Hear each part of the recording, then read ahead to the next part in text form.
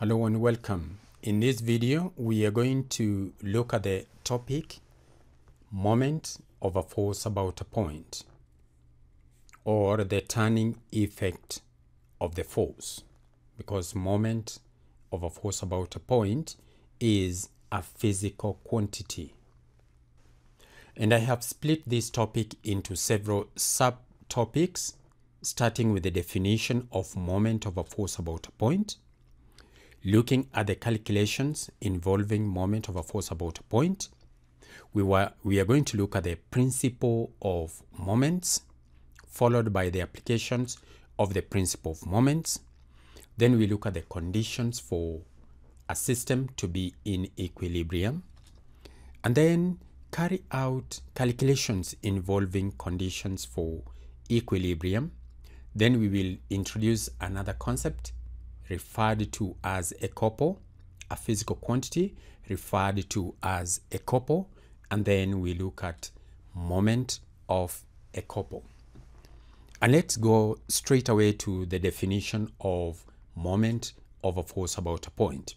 I've already written the definition on this slide, so I'm going to run a number of slides, and in each one of them, I'm going to explain the various aspects.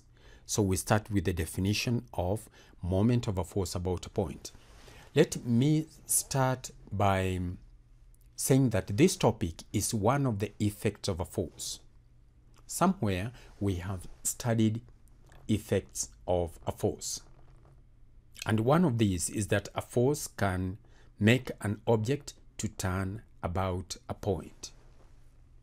So that turning effect is what we are talking about today. What are some of the examples of the turning effect of a force? Think about a door, which is turning about the hinges. Think about your arm, which is turning about the elbow. All these are examples of a system which is turning about a point. And that system is turning because a force has been applied to make the system to turn. So we are going to define moment of a force about a point as the product of that force and the distance from the point which makes 90 degrees with the line of action of the force. I've mentioned uh, several uh, points here and I need to describe each one of them. Number one, a force is a vector and it has got a certain direction in which it is traveling. That direction in which a vector points is referred to as its line of action. So this dotted line here, this one here, is the line of action of this force.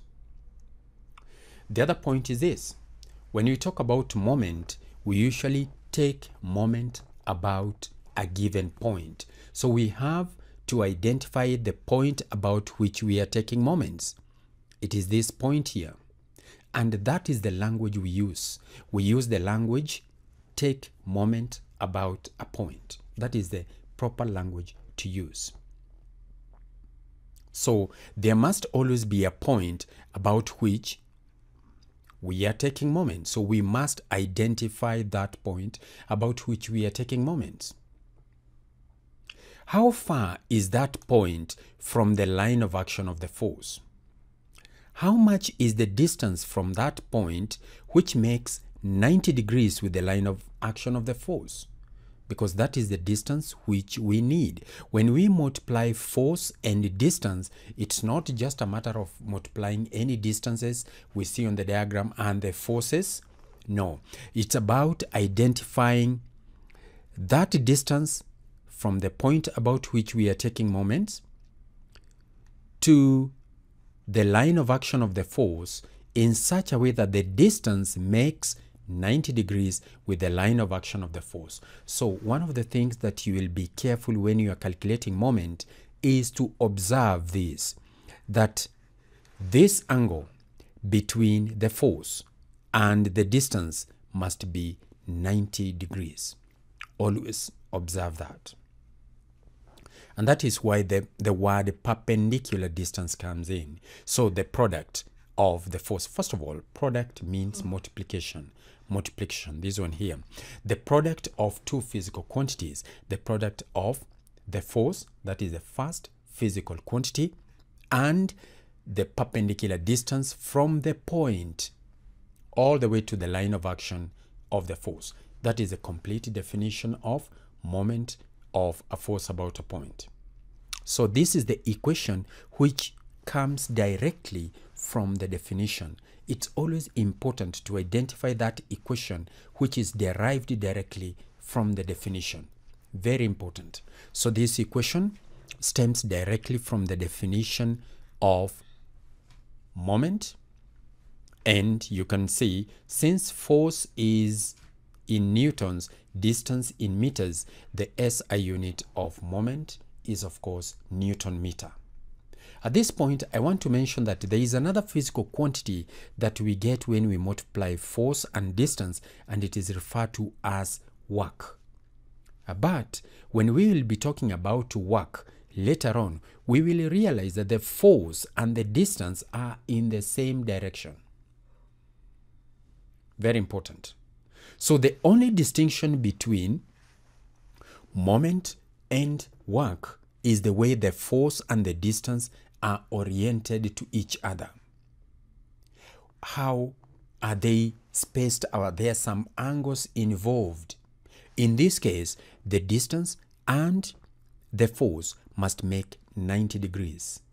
When you, we will be calculating work later on in that other topic, we will see that the force and the distance, they are parallel to each other.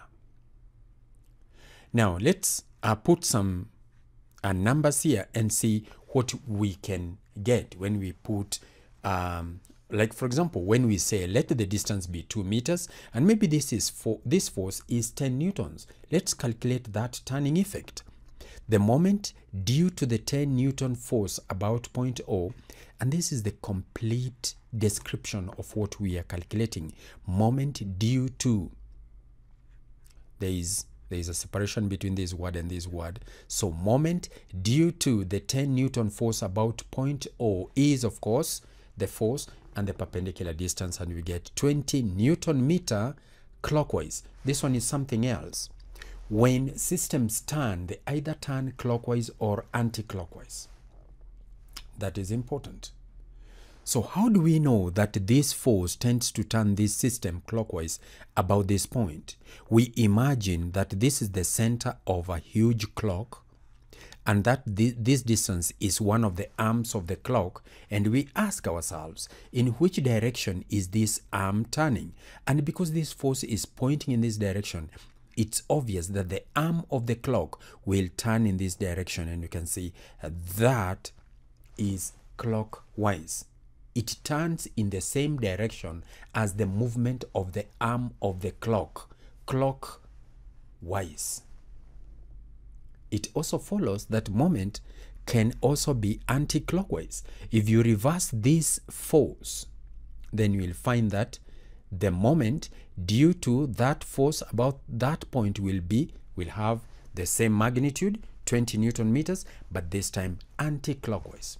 So moment is a vector given that you've got to mention two things you have to, to get to mention a number and a unit a number and a unit is the magnitude then we say when you say clockwise or anti-clockwise you're talking about the direction and a physical quantity with magnitude and direction is a vector. So on that basis, moment is a vector quantity.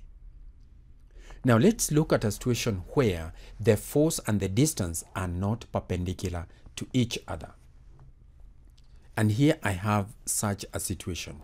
You can see that the distance, this one here, it may still be 2 meters this one may still be 10 newtons, but you can see that the distance and the force do not make 90 degrees.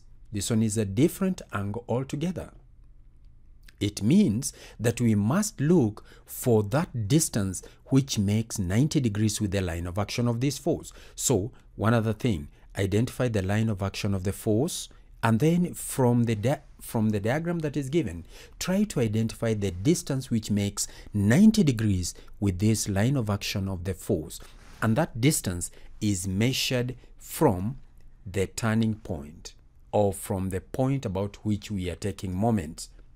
Sometimes we refer to this as the pivot. But specifically, a better term that completely defines this point, it is the point about which we are taking moments because we could decide to take moments about a different point altogether. But this time, it is this point. We are taking moment about this point. So find that distance from the point about which we are taking moments and that distance must make 90 degrees with the line of action of the force. So you may have to do a little bit more calculation here because you might need this angle. Use any angle that is given. If this angle is given, then you will realize that the distance which is required is the opposite to the angle which is given. If this is the distance, if this is the angle that is given, the distance which is required is adjacent to the angle. So you see, when I use these those terms adjacent and opposite, you think about sine and cosine. Because cosine of an angle is equal to the adjacent to the angle divided by the hypotenuse. And by the way, this one is a right angled triangle. So if we know any of the angles here, we can comfortably use trigonometry. As for example, let, let us just put some figures there. Uh, this distance, like we said, let it be still be 2 meters. This one is a force of 10 newtons, and then we are given this angle at 60 degrees. So you can see that the required distance is the adjacent to the angle. That means I can say the cos of 60 degrees is equals to adjacent, which is the distance that I want, divided by the hypotenuse. Do you remember that acronym, the SOHCAHTOA? That is what is helping us to identify what we need here. So if, for example, this was the angle that is given, uh, and since this one is 60, this one must be 30 degrees. If this angle was the one which is given, then I'm going to realize that the side which is required is opposite to the angle, and therefore I use the sine function. So be ready to use simple trigonometrical functions in this particular topic in order to calculate moment of a force about a point. So basically this one will be moment due to the 10 newton force about point O is equals to the 10 newton force itself times this distance here which will be given by 2 cos 60 meters. And when you manipulate that using the calculator you get 10 newton meters clockwise.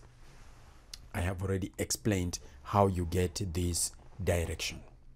So to sum up this video, you should be able to define the physical quantity moment of a force about a point, be able to describe it completely by repeating the word moment of maybe 50 Newton force about point O, about point A, about point B, and so forth. That is the language in fact, in the next video, when we are looking the, at the calculations, that is the language that will keep on repeating until it uh, uh, you are able to see the sense in it. So, in this definition, we understand that. And then we remember the force and the distance make 90 degrees with each other. Then, of course, the SI unit of moment of a force about a point is Newton meters and the moment is a vector. It is either clockwise or anti-clockwise. And I want to emphasize here, very important, when you're given any diagram, always try to identify the distance which makes 90 degrees with the line of action of any force and then proceed to calculate. It's not just a matter of multiplying uh, numbers, forces, and distances. So in the next video, we are going to look at calculations involving moment of a force about a point. See you in the next video.